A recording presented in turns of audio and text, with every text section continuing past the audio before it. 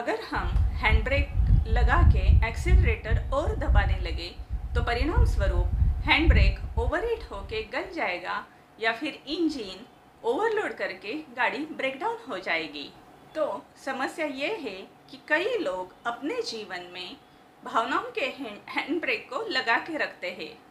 मैं दुखी हूँ, मैं परेशान हूँ, मैं चिंतित हूँ, भविष्य का क्या होगा, मैं भयभीत हूँ। ऐसी भावनाएँ मन में रखने से अपने शरीर और मन की वही हालत होती है, जो हैंड ब्रेक लगाकर गाड़ी चलाने से होती है।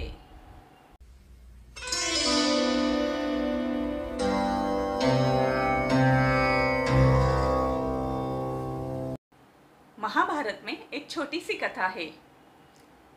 एक बार कौरव और पांडव को शिक्षा देते हुए आचार्य द्रोण ने सोचा क्यों ना इनकी परीक्षा ली जाए? परीक्षा उनकी वैचारिक प्रकृति और व्यवहारिकता की थी। उन्होंने दुर्योधन को अपने पास बुलाया और उसे कहा, तुम नगर में से कोई भी अच्छा आदमी ढूंढ के मेरे पास लेकर आओ। दुर्योधन ने कहा, जैसे आपकी आज्ञा। और वो अच्छा आदमी की खोज में निकल पड़ा। लेकिन कई नगर ढूँढने के बाद भी उसे एक भी अच्छा आदमी नहीं मिला। वो खाली हाथ ही लौट आया और आचार्य से बोला, यहाँ यहाँ इस पूरी दुनिया में एक भी अच्छा आदमी नहीं है। सब बुरे हैं। आचार्य, आप भी बुरे हो।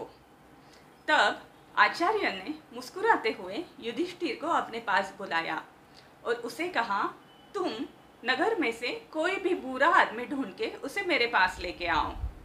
युधिष्ठिर भी उनकी आज्ञा मानकर बुरे आदमी की खोज में निकल पड़े। उन्होंने भी कई नगर ढूंढे, कुछ दिनों तक बुरे आदमी की खोज की, लेकिन वे सफल नहीं रहे। वो भी खाली हाथ ही आचार्य के पास लौट आए और उन्होंने कहा, यहाँ पर तो कोई भी बुरा आदमी नहीं है, सब लोग अच्छे हैं। तब उनके शिष्य ने गुरु द्रोणाचार्य से पूछा, ऐसा क्यों हुआ?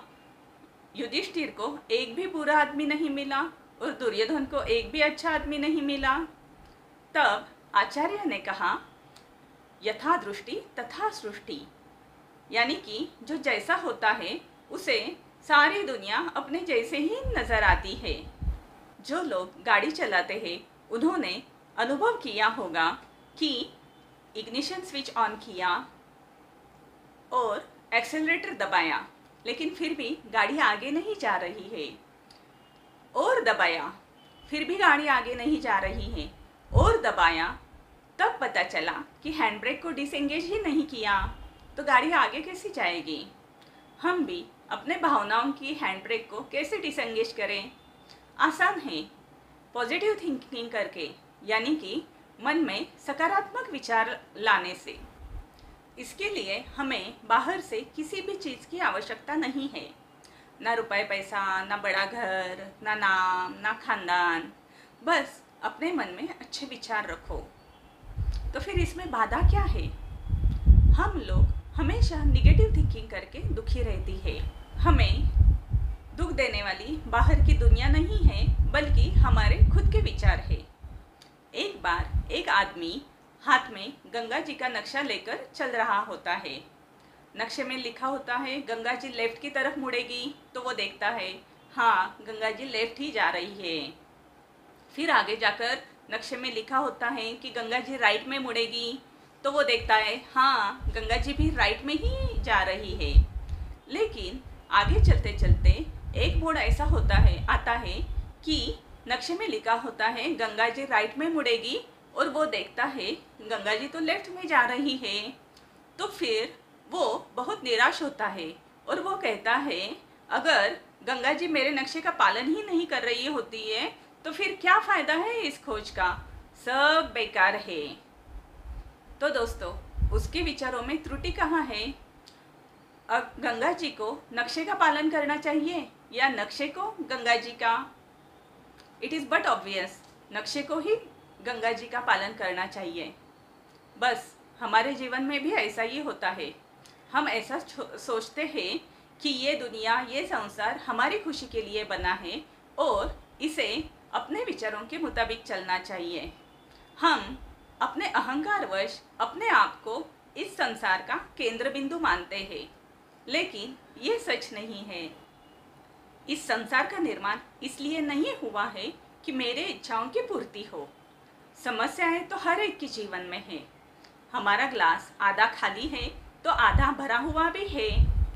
अगर हम अपने ऊपर हुए ईश्वर की कृपा दृष्टि को याद करें तो हमारे जीवन में सकारात्मकता अवश्य बढ़ेगी। ईश्वर ने हमें दो आँखें दी है, जिससे हम बहुत ही खूबसूरत इंद्रधनुष्य देख सके, समुंदर के किनारे बैठकर सूर्यास्त देख सके। ईश्वर ने हमें दो हाथ दिए हैं, दो पैर दिए हैं, ये भी तो उसकी कृपा दृष्टि ही है। अगर हम ऐसी सोच रखेंगे तो हमारे तो हमें हज़ारों कारण मिल जाएँगे आनंदित होने के। जिससे अपनी कार्यकुशलता भी बढ़ेगी और स्वास्थ्य भी अच्छा रहेगा। तो दोस्तों, कैसा लगा आज आपको मेरा ये वीडियो? अगर अच्छा लगा हो तो लाइक बटन क्लिक कर देना। और हाँ सब्सक्राइब करके बेल आइकॉन बटन दबाना मत भूलना, ताकि मैं जो भी नया वीडियो अपलोड करूँ, आपको तुरंत उसका नोटिफिकेशन मिल जाए। धन्यवाद।